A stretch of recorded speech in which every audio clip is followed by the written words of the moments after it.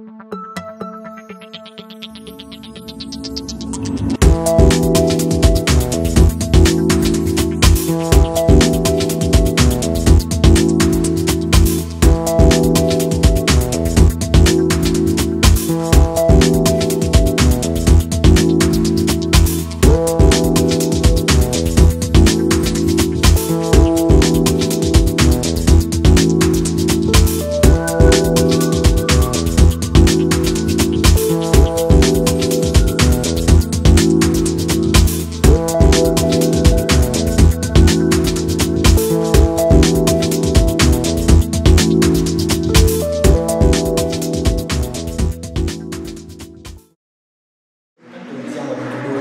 chi è il dottor Luciano Barra Caracciolo.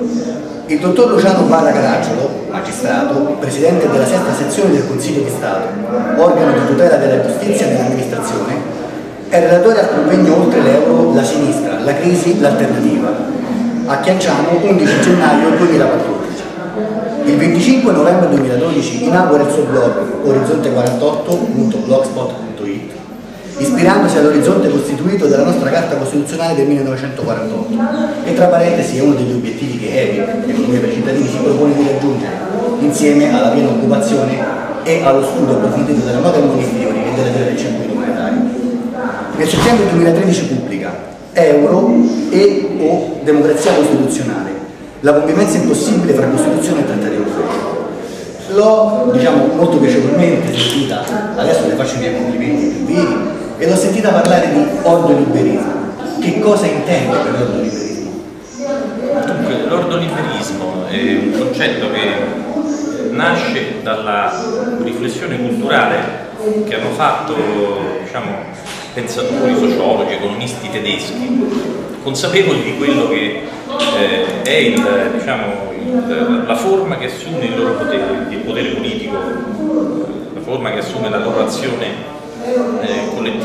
incarnata dallo Stato. Eh, cosa significa in termini pratici? È l'accostamento, è una sorta di ossimoro, no? cioè l'accostamento de, degli opposti inconciliabili, è ordinamento, che sottintende ordinamento giuridico, e liberismo, perché eh, la novità, questa sorta di crasi ossimorica, è fondata sul superamento del liberismo o liberalismo, adesso in italiano poi la traduzione è più difficile, eh, sono problematiche, e, e comunque quello anglosassone è antistatale, cioè tende a ridurre lo Stato al minimo, diciamo il più grande teorico, il più noto insomma, del, del liberalismo, del neoliberalismo, è von Hayek, il quale dice espressamente che lo Stato si dovrebbe limitare a fare le strade, la segnaletica e i controlli sulle unità di misura. Tutto il resto, e questo significa veramente tutto, può essere affidato al mercato, cioè ai privati, compresa la polizia, la difesa, qualsiasi cosa. Tant'è vero che le pulsioni, diciamo, neoliberiste nei paesi anglosassoni arrivano, in certi aspetti negli Stati Uniti, dove c'è stata una tale dire, orgia neoliberista che si è tornata indietro, recentemente è diventato un modello in crisi. Però insomma la Thatcher pure avrebbe concepito, lasciandola fare, avrebbe concepito all'infinito questo processo di destrutturazione dello Stato verso lo Stato minimo una suggestione che è piaciuta pure molto ai francesi, eh, perché ha avuto una, una, grandissima influenza proprio su che cosa? Sul concepimento dell'Unione eh, Europea, perché l'Unione Europea è un concetto che succede eh, alla, alla, eh, alla, al mercato comune sostanzialmente e eh, si diciamo, struttura proprio su questa diciamo, capacità ordoliberista di rimodellare dall'interno le istituzioni preesistenti proprio perché si sa che ci stanno in maniera tale che queste diano ai cittadini il senso della continuità e che sfruttando questa precedente legittimazione delle istituzioni democratiche possano legittimare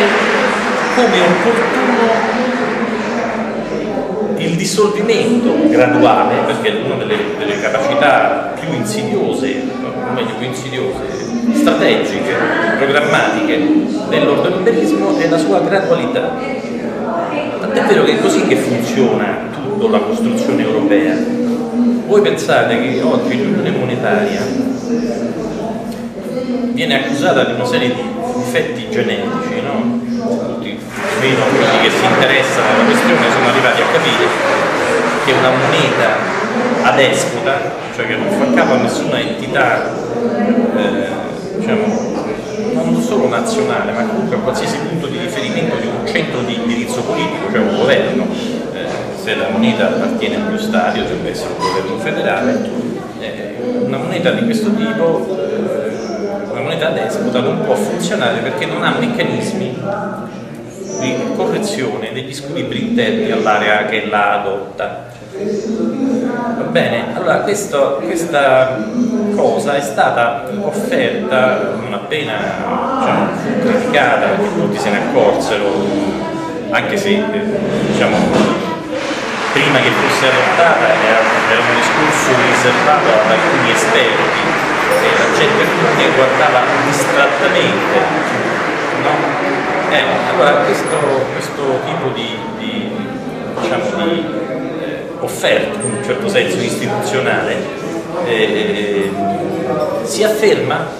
proprio eh, per il fatto che passa attraverso la mima, questa è la mimesi, mima le precedenti istituzioni, si raccorda con esse e riesce a imporre come opportuno